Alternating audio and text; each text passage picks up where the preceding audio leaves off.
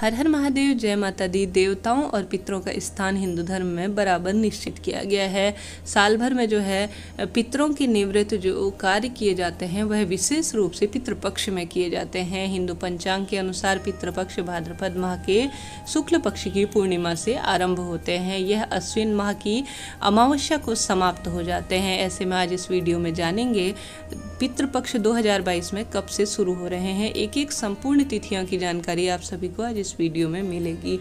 जैसे कि पितृ अगर जिस घर में प्रसन्न होते हैं, धन, संपदा, वंश वृद्धि इत्यादि निरंतर उस घर में वृद्धि होती चली जाती है।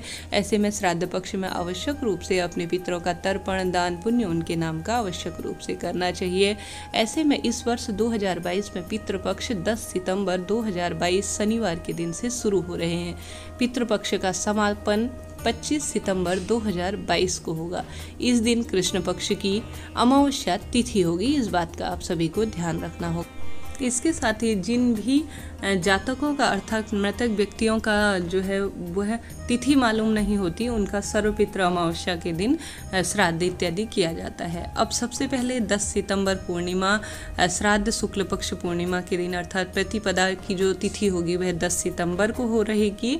11 सितंबर को कृष्ण पक्ष की द्वितीय तिथि रहेगी 12 सितंबर को तृतीया का श्राद्ध किया जाएगा। 13 सितंबर को चतुर्दशी कृष्ण पक्ष की चतुर्थी तिथि का श्राद्ध किया जाएगा। 14 सितंबर को कृष्ण पक्ष की पंचमी तिथि का श्राद्ध रहेगा।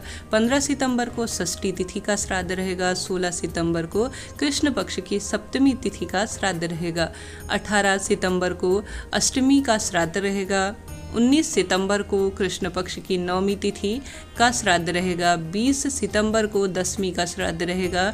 21 सितंबर को एकादशी का श्राद्ध रहेगा 22 सितंबर को द्वादशी का श्राद्ध रहेगा 23 सितंबर को त्रयोदशी का श्राद्ध रहेगा। इसके साथ ही 24 सितंबर को चतुर्दशी का श्राद्ध रहेगा। 25 सितंबर के दिन सर्वपित्र अमावस्या के रूप में मनाई जाएगी। ऐसे में आवश्यक रूप से इन तिथियों को अपने पितरों के नाम का जो उनकी तिथि पड़ती हो, उसके अनुसार श्राद्ध करना न भूलें, उनके नाम का दान पुण्य विशेष रूप से करें। पितृ जो है, आशीर्वाद के रूप में अपने घर परिवार को विशेष सुख समृद्धि से भरते हैं। इस बात का ध्यान रखते हुए आवश्यक रूप से अपने पितरों के नाम का कुछ ना कुछ दान पुण्य करना ना भूलें। कहा जाता है, जो दान पुण्य हम करते हैं, सीधे पितरों तक पहुँचता है और उन्हें मार्ग मिलता है। आप सभी के लिए यह जानकारी उपयोगी रही हो तो हर हर महादेव ज़रूर लिखिए चैनल को लाइक शेयर और सब्सक्राइब करना ना भूले। राधे राधे